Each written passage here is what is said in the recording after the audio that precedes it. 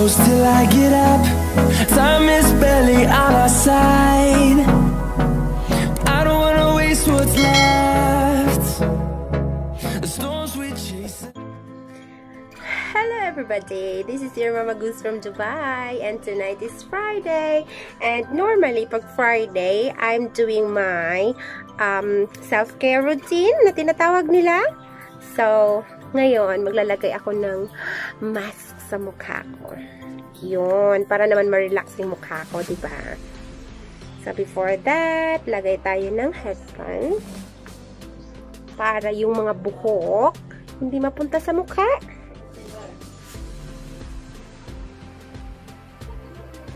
Yan.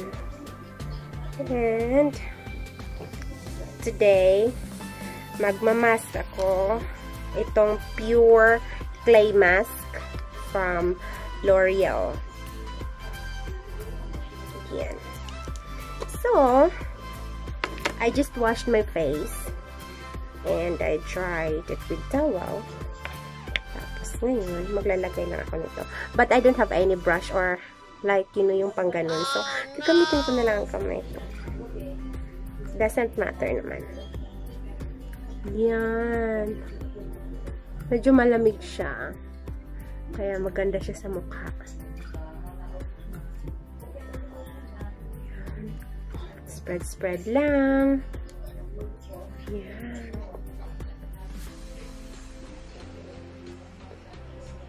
Since I'm working every day, so I cannot do this mask often. So, nagagawa ko lang siya kung may time ako. And it is usually weekend.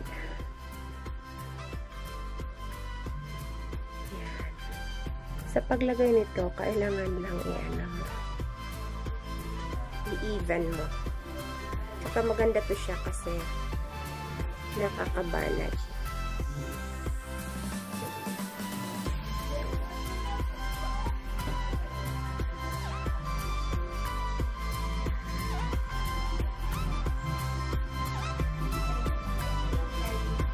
What about you guys? What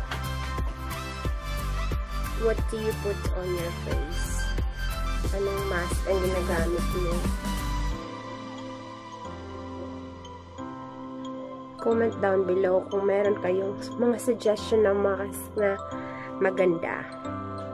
At matry man lang gamitin yung mga pampaganda nyo. Kasi alam nyo, si Mama Goose ay hindi naman ako expert sa pampa beauty kaya kung anong meron lang yun lang yung ginagamit ko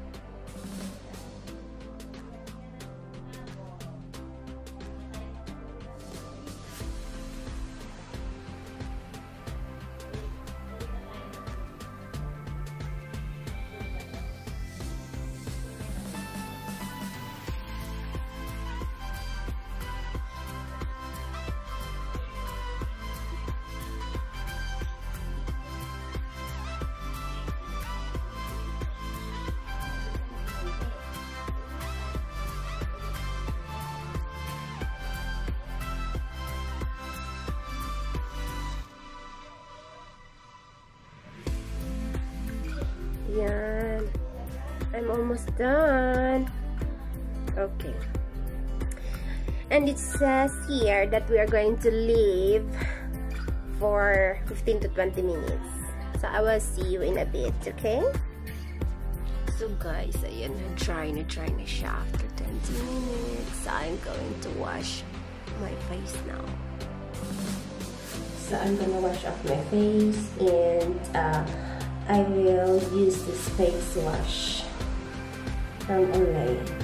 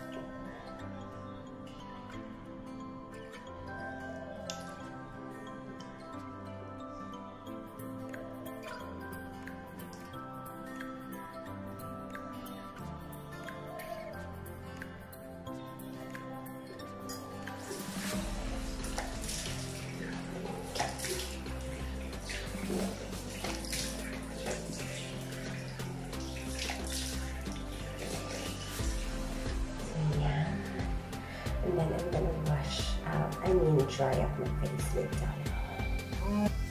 Then after I wash my face, while it's still wet, maglalagay ako ng nose strips kasi marami akong blackheads.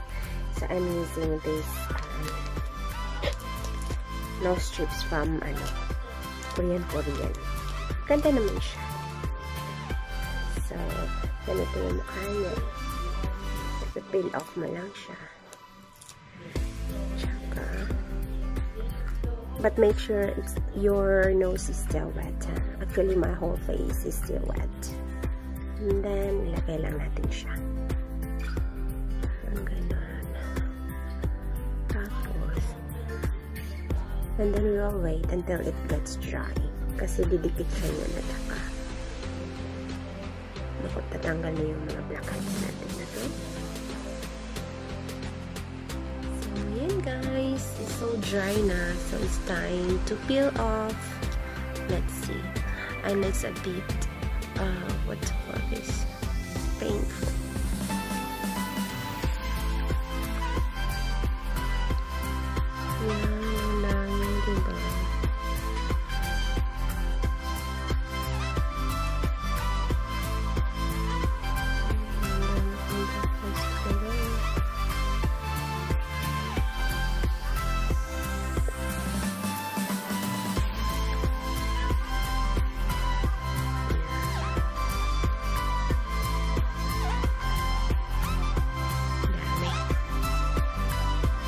You know what what I like when I do this strip off thing is it's very satisfying. When you feel off and then marami kang nakukuha ang sarap sa pakiramdam. Tsaka know medyo makinis na yung mukha ko.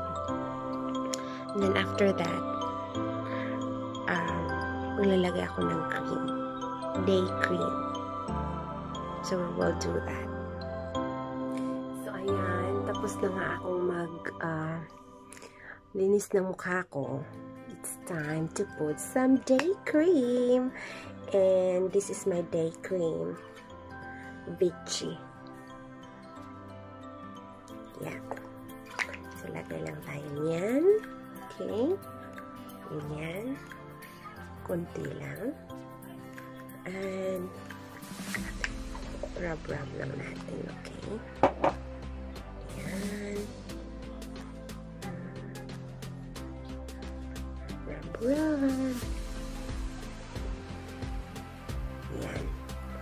Light, syempre. Hmm. And after that, I will use this Clinic for my under under eye cream.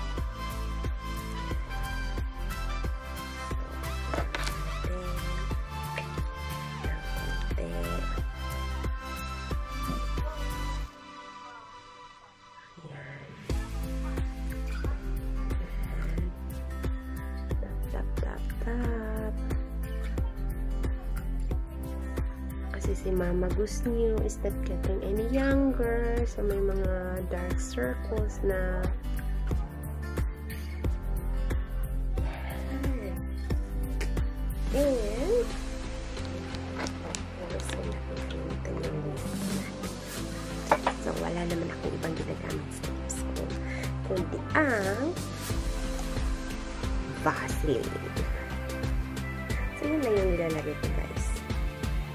Okay. So,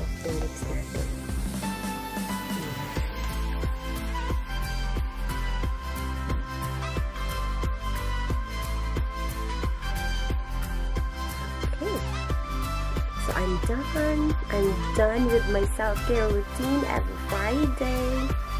By the way, this is a morning routine, okay? So, tapos na ako. So, what I usually do is mag-relax-relax lang. Kasi wala naman ako pupuntahan. Mamayang gabi pa. So, what I'm gonna do now, while lying on my bed, is magbabasa ako ng book. Okay? So, this is the book that I'm going to read today. The Power is Within You. So, by Louise L. Hay. this is really a good book and I will do a separate video um, about this book. Okay? See you! Thank you so much for watching and if you are new to my channel, please don't forget to like and subscribe and don't forget to ring that bell so that you will get notified on my next video. Have a good day! Bye!